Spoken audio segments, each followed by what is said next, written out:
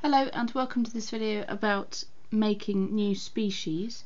Now a species of, of animals is a group of similar animals or similar individuals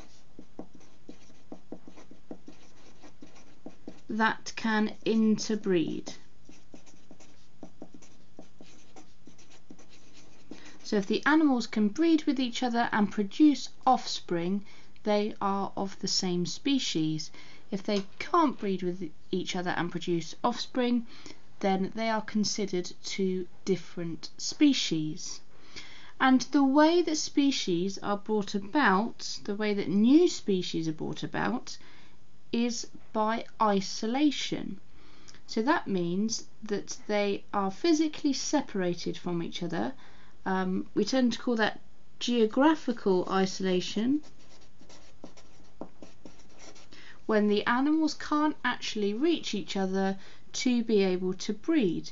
For example, we've got two groups of animals over here, and it could be that at one time they were the same species, but gradually, over hundreds of thousands, maybe millions of years, as the mountain range between them got higher, it then caused these two groups to be isolated and form two different species.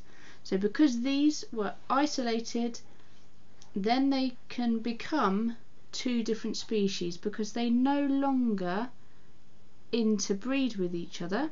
Therefore, their genes and their genetic information changes so much that they are now considered to be two different species.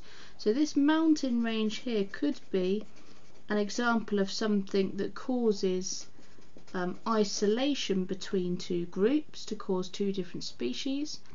Similarly, if you had an island situation, it could be that the sea causes a geographical barrier between the two groups which could then lead to these groups becoming two different species because these birds here would start breeding with each other, these birds here would start breeding with each other, and over thousands of years they would then perhaps be made into two different species because they're no longer interbreeding with each other and then after thousands of years their genes would change so much that they would be considered a different species.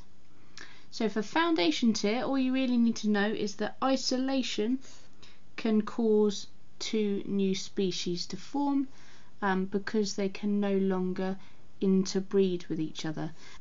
So depending on its um, ability to move, um, there could be several different things that cause a phys phys physical barrier or the geographical barrier. Um, it could be that the tectonic plates were moving over hundreds of thousand years. It could be that a valley was formed or that there was a fast flowing river or whatever it was. And just bear in mind that this doesn't take place overnight. This will take um, thousands, if not hundreds of thousands of years for this new species to form.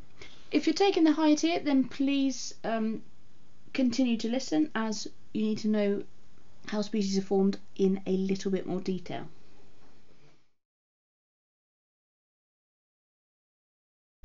So then we've covered um, isolation so far, which would be the first step of generating a new species. So for example then let's assume that a body of water has come between these two groups of elephants, maybe a very large body of water as tectonic plates were moving or something like that. And that has caused isolation of the two groups of elephants. Now don't forget that they don't just suddenly turn into two different species, um, there's other factors that take place. Now the first important thing to realise is the fact that already in this population there is genetic variation. These elephants aren't clones of each other. They will look um, slightly different. So for example, if we take the characteristic of hair length, then just naturally some elephants will have short hair and some will have long hair which I'm going to really exaggerate here just so you can see. I'm just going to put in just naturally some elephants having long hair some elephants having short hair in both populations. So they'll vary from loads of different types of alleles um, but we're just going to concentrate on hair length for the purposes of this video. So in creating new species, why is um, genetic variation important? Imagine then these two elephants coming under differing climatic conditions. For example, if we suggest then that the ones over here are experiencing over long term lots of rain, very cold weather. Whereas the group over here, due to the isolation and the movement and the location of these elephants now, they are experiencing a different climate, a sunny climate where there is warm weather. So these differing conditions then are where the natural selection comes in. Because with natural selection, the alleles that control characteristics which will help the organism survive will um, survive in the population because those animals will survive and pass on their genes. Again, this won't happen overnight. It will be a really gradual process that will take thousands or hundred thousands of years. But imagine, therefore, that having long hair is beneficial in this environment, okay, where it's cold and loads of rain, etc. Whereas having short hair is beneficial in this hot climate over here for this group. So what's going to happen then is due to this process called natural selection,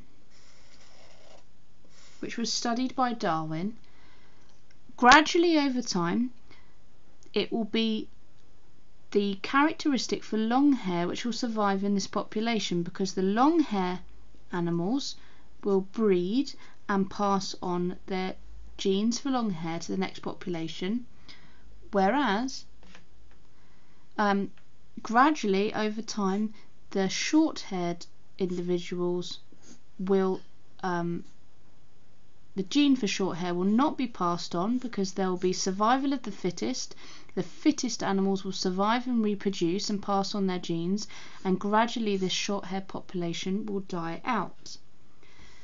Conversely, on the other side, the short hair is going to be the advantage. So these animals are going to be more likely to survive and reproduce and pass on their genes to the next generation. And it will be the long haired individuals that will gradually, over time, over thousands of years, die out. So we get a situation where it's survival of the fittest.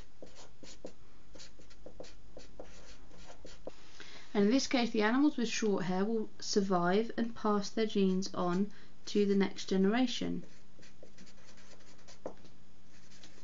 They pass their genes for short hair on to the next generation.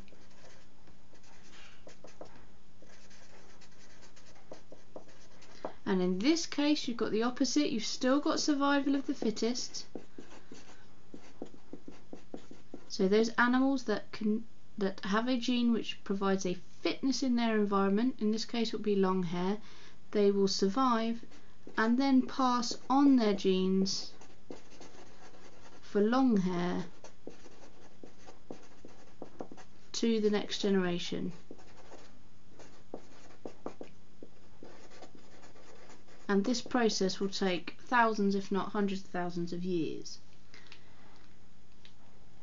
But eventually, due to due to this isolation and this um, natural selection and this breeding that's going on in the two populations, eventually they these populations will become so different from each other, so they'll become so different genetically that you will then have speciation. You will then have two separate species, and you might go on to call this the short haired species and the long haired species,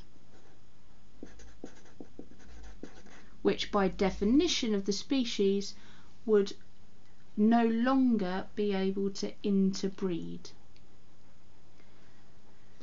So there's often some quite long questions um, on speciation and the process process involved in selecting new species. So you really need to get all of these points down in your answer. So try and think about isolation, the idea of genetically genetic variation. If it helps, just think of the elephants and think that naturally some have shorter hair, some have longer hair. Um, the idea of natural selection, which involves survival of the fittest and passing on your genes to the next generation, which will eventually lead to speciation, where the animals will no longer be able to interbreed.